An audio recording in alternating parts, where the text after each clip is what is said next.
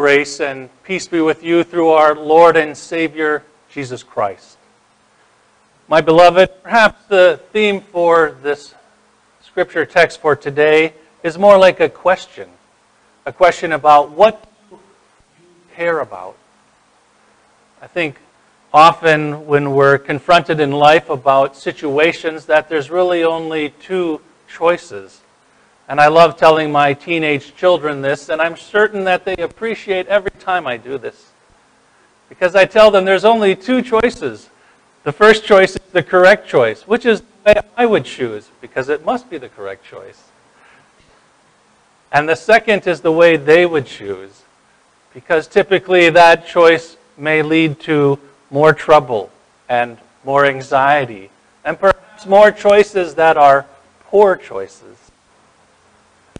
It's interesting as we try to understand the scripture text for today, we think, I think we should go back and look at some of the highlights of the entire chapter of 21. Matthew 21 tells us how Jesus had his triumphant entry into Jerusalem riding on a colt. And all the crowds came out and praised him. This is the Son of David, in fulfillment of their hopes and the prophecies and their dreams. This was the one who came in the name of the Lord, and this would now usher in a new kingdom, a new era. And soon after that, Jesus goes into the temple and he confronts the money changers there reclaims the temple for God. Later, he continues to demonstrate his ministry of healing. And he continues to show his authority not only over the crowds, and not only over the institutes of authority, but even over nature itself, where we see the withering of the fig tree. Is it any wonder, after all this demonstration of power through our Lord and Savior, that the opening of our scripture begins with such a question? When he entered the temple, the chief priests and elders of the people came to him. And as he was teaching, they said, by what authority are you doing these things? And who gave you this authority? You see, the crowds were absolutely enthralled with Christ, at least for a time, because they saw in him a way that there was confrontation to the establishment, a boldness, an excitement about this that was just astonishing. And certainly the religious leaders were wondering to question his authority. They couldn't even answer the question. Jesus asked about John the Baptist. And maybe this reflects a little about our current society. How it's difficult to give the right answer and make the right choice. How people in authority, political leaders, spiritual leaders, how they need to be encouraged to make the right decisions. And how we must pray for all people that they can do so. Nevertheless, the challenge for our passage today is almost an extension of what we heard last weekend. The parable about the laborers in the field, where they would develop their gifts to serve those in need. To seek, or do we seek honor for ourselves and put ourselves first? And hence Jesus tells another parable. This parable helps us to differentiate Jesus wants the religious leaders and us to try to decide between these two sons. For both, somewhat seen as being sinful, which would be more likely redeemed by his Father? For we see, in light of that choice, that redemption and the forgiveness is given to the one that first disobeys, but is not available to the second which mocks and continues to mock his father when he continues to disobey and not listen to his father. See, the first son changed. He changed his mind and he went. And maybe when we look at the Greek of the text, it might be easier for us to see a little bit different translation. Translation would be later he changed what he cared about and went. You see, the son said no to his father. But maybe he really cared about himself, about his own comfort, about his own way of living. And then later, he changed his heart and cared and chose about rather to follow his father and go into the vineyard and work for him. At the heart of the passage is a simple question What do you care about? What do I care about? Are we like the religious leaders that Jesus is talking to, that we need to somehow maintain our reputation? Or is the primary concern that we honor the Father God asks us to work for Him, to go out and do His mission in His kingdom? And if our primary focus is to go and serve in God's mission, perhaps it's going to ask us to get a little bit outside of our comfort zone and respond to the love that He has showered on us to reflect that love to others in need. You see, friends, the religious leaders to whom Jesus was speaking to were still locked in that decision to say no to the Christ. And until they would change their concern, then there's no hope for them. Whereas the sinners and those who would be marginalized by society, they turn their no into a yes to Christ. And what about us? Are we perhaps too afraid to say yes because of our past and what we've done? Or maybe we're too ashamed of our current circumstances to say yes. Or maybe we're like many others that we've heard where they say, you know, I've done 80% right, and God knows my heart, and I try. Don't we get some credit for just a little bit of effort? You see, friend, God just wants you to say yes, to open up your heart so that you can experience His love and mercy and peace and joy and be a reflection of that to others. Isn't it wonderful and when we think about authority, or we heard that in our readings today, could it not be that 99% of the authority of things that are over us are really those things which we allow or enable to be over us? What do I mean by this?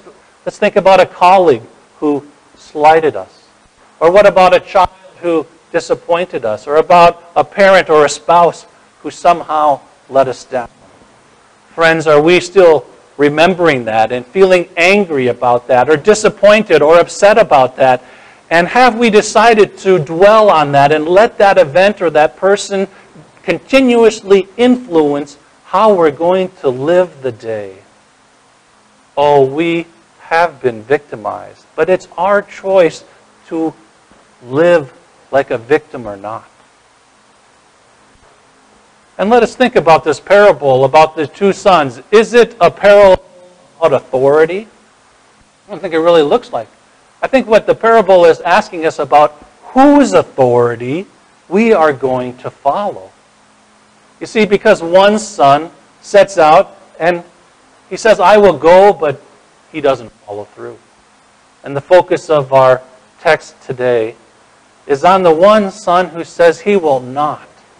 But later, he goes out, even though he may be motivated by some other circumstances.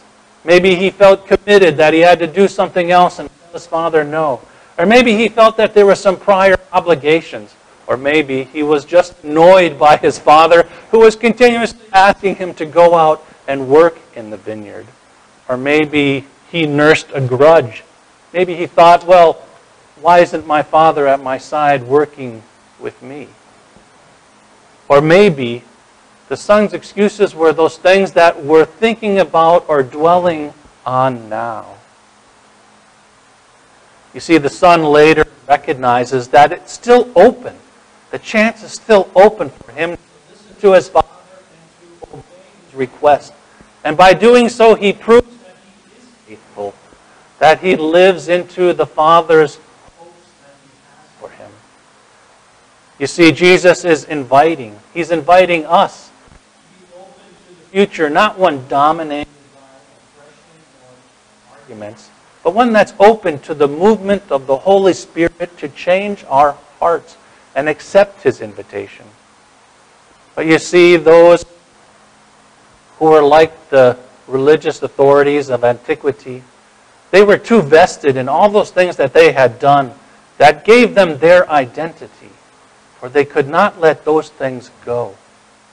But those who were the down and out, those who had done things that also made their identity, they recognized that there's no life in those choices. And so they changed their concern about what they cared about and responded to God's love and held his promises close. And there's one more thing that those promises are available to us today. That no matter what we have done or what we have had done to us, there's still the future that's open. And no matter how much hurt we have experienced or how much hurt we have done, that the past is in the past. And it shouldn't determine what we are going to do today. For friends, the parable of the two sons is helping us to focus that when we feel puffed up and when the times that we don't recognize that John's baptism was from God, and then we're in circumstances when we're shamed by common people who we didn't think deserved respect, but teach us the simple lessons in life to love and honor others. You see, there's many take-home messages for our scripture today. One, the parable itself talks about two types of people. The type of person who proves better than he promises. That's the first son. Or the type of person who promises better than he proves. That's the second son. Secondly, it tells us that all types of people have the same Father. And isn't that comforting that we know that this Father who showers blessings on us all are the ones that we can receive? And it's the same Father that gives us the same obligation to all people that we can follow. Third, it's about going into the vineyards.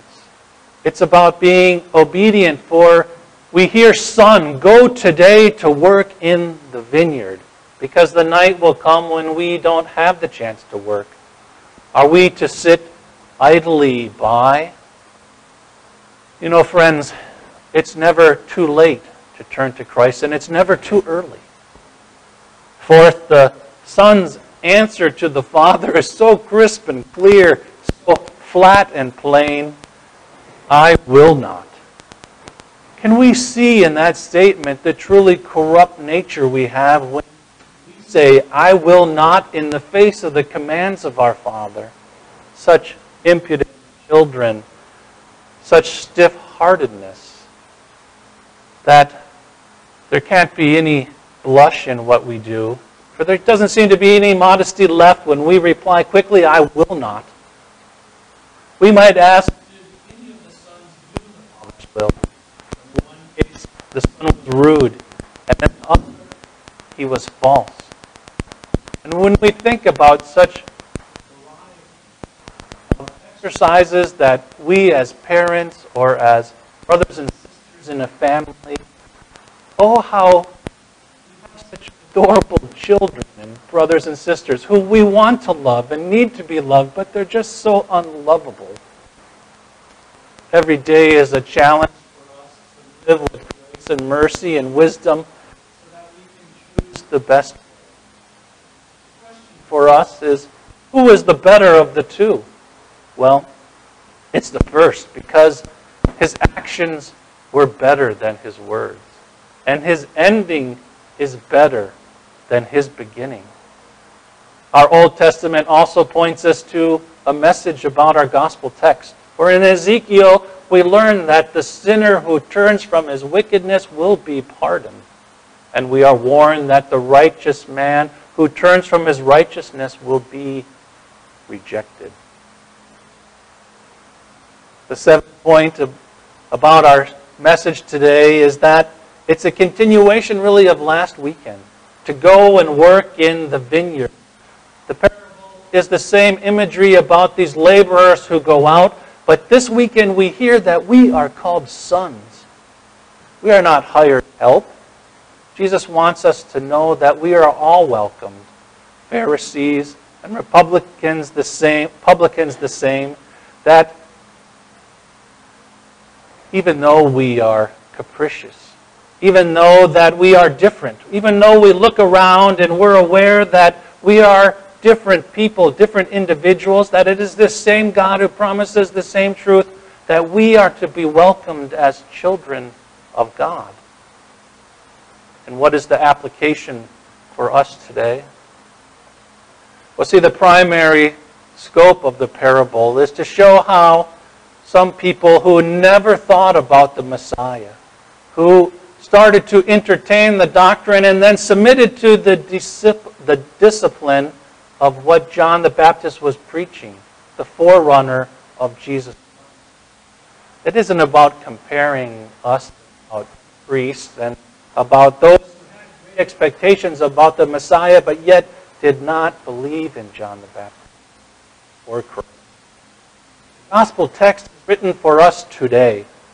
For all who sometimes are disobedient, and maybe for some long time now, these children of disobedient, we are like the first son. But yet, how rich it is that when we hear the gospel and we can turn about what we are concerned about and live to the promises and glories of our Lord and Savior Jesus Christ and be obedient in faith. You see, friends, be a blessing. Go out and give them heaven, folks. Remember to practice your social witnessing. And all God's people said,